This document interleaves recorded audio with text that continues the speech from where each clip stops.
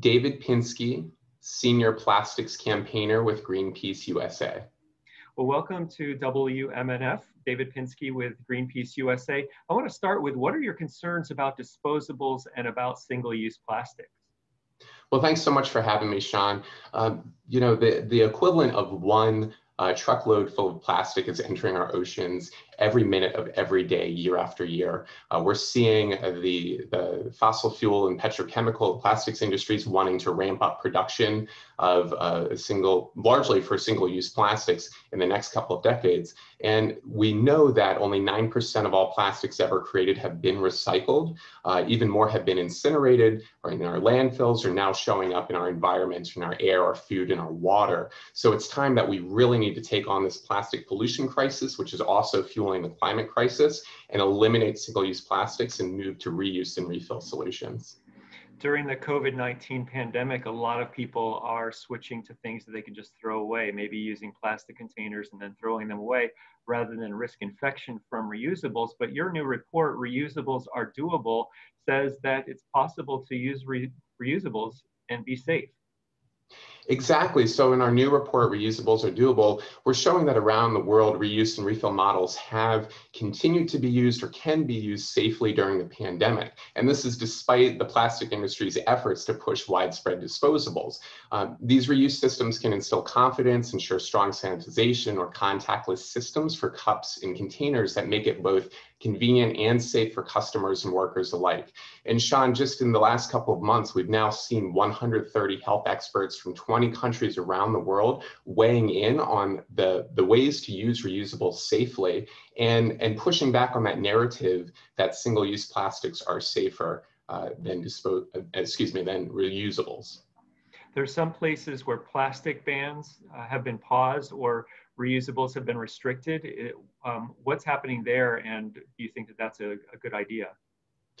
Right. So certainly, um, you know, what we've seen is that in the the the, toward the beginning of the pandemic here in, in the US that the plastics industry was um, promoting um, some studies uh, that were uh, that where it was claiming that single-use plastics were safer than reusables. And so we know this was an industry-led effort that was really trying to exploit people's uh, anxiety um, about the pandemic and wanting to keep their families uh, safe. And so what we know is that um, you know this is indeed uh, certainly has led to some uh, rollbacks in certain states. So I'm here in the San Francisco Bay Area. So in California, the state temporarily paused its ban on single-use plastic bags. It's now been reinstated. We've seen that happen in some other um, uh, states as well. So Massachusetts was banning reusable bags, has now um, uh, said that, hey, that's fine to go ahead and, and resume reusable bags. In Vermont, Vermont moved forward with its ban on, on single-use plastic bags despite some of these efforts from industry to push back.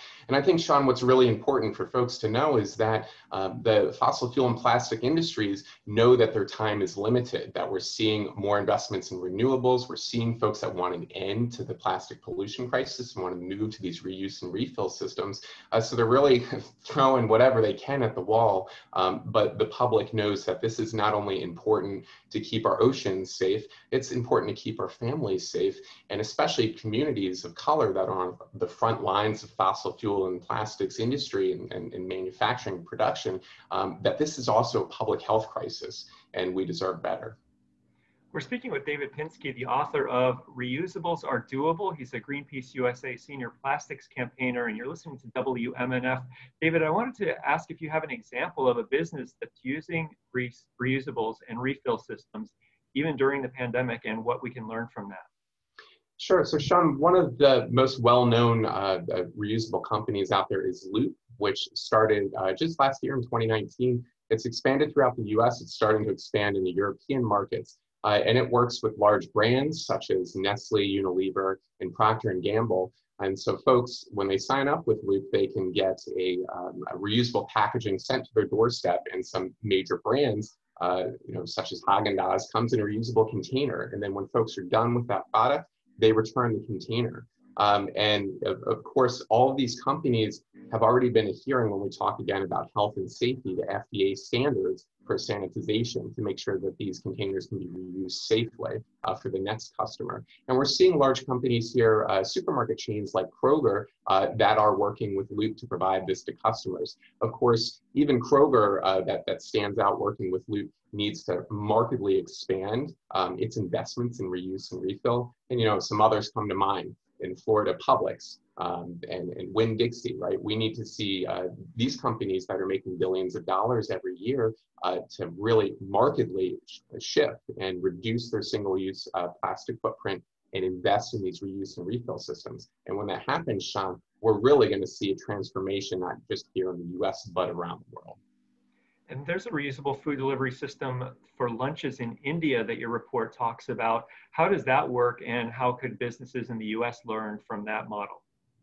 So yeah, that system has been around for 130 years now. It's called Dabbawalas, and that is where folks largely for their lunches get uh, a lunch delivered to them largely via bicycles. Sometimes folks are moving around on the extensive train system there in India, um, and that, that comes in a, in a reusable uh, tin or stainless steel container, and then that is, um, of course, returned and cleaned. And so that's been a very effective model. It's been around for 130 years. You know, some folks will probably remember the milkman coming to their door. So these aren't new ideas, but what we have seen and you know the around the, the middle of the 20th century was a market increase in single-use plastics and you know this convenience model that was sold to us. But of course we know now the public health and the environmental impacts of runaway uh, disposable plastics and that need to shift.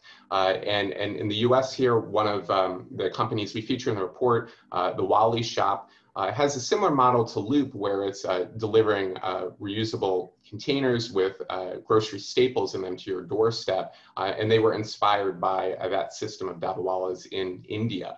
so I think what's really exciting at this moment, Sean, is we're seeing a lot of innovation, a lot of startups here that are bringing these reuse models to, to Americans throughout the country. And so now really the question is, are some of these bigger brands, are Walmart, Publix, Target, are they going to invest in these systems as well um, or find themselves soon obsolete if they don't change with the times?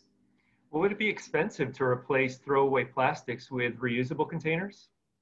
So the Ellen MacArthur Foundation uh, put out a great report called uh, Reuse, and they found that uh, there's over $10 billion economic opportunity for companies if they are going to just reduce their single-use plastics by 20% and shift to reusable systems. Uh, so that, you know, that's, that's one figure there, but that's not a small chunk of change. And of course, many of these companies are driven by the economics. Uh, so I think there's a huge opportunity here, but it's important, Sean, that we also need to make sure that these systems are affordable and accessible to folks um, in making all levels of income. And, you know, other models that we've seen are bring your own container. Uh, so further up on the East Coast, um, Mom's Organic Market, which is based out of Maryland and operates in states such as Virginia, Pennsylvania, uh, New York, they, they have a, a, bulk section where folks can bring in their own containers. And they, they have certain standards. You need to make sure that you clean it before you bring it in. They've continued to operate that model throughout the pandemic.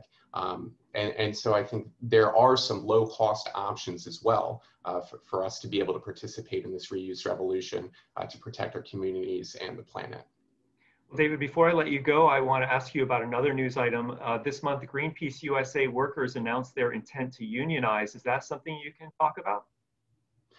Well, what I can say is that uh, Greenpeace uh, management has responded, said that they support the effort of workers to unionize. Of course, we um, uh, work very closely with unions um, and are excited to ensure that workers um, are, are part of the solution, not just at Greenpeace, but as we mentioned as well in Reusables Are Doable in the report, um, it's very important that we're not leaving behind workers, we're not leaving behind communities, um, and that we really are able to move forward together, especially as there's been such um, a change and, and hardship during the pandemic. Well, David, those are my questions. Is there anything else that people should know about your report, Reusables Are Doable? Well, I encourage folks uh, to take a look, go to greenpeace.org, check out Reusables Are Doable, how you can take action, not just to be a part of the reuse revolution, but again, when next time you go to Publix, um, or if you want to call them up because you're social distancing, let them know that you want to see uh, Publix, you want to see Winn-Dixie, you want to see Target to take action on the plastic pollution crisis, to eliminate single-use plastics and switch to reuse and refill, refill systems. David Pinsky with Greenpeace USA, thanks so much for coming on WMNF. Thank you, Sean. Appreciate it. All right. Thank you.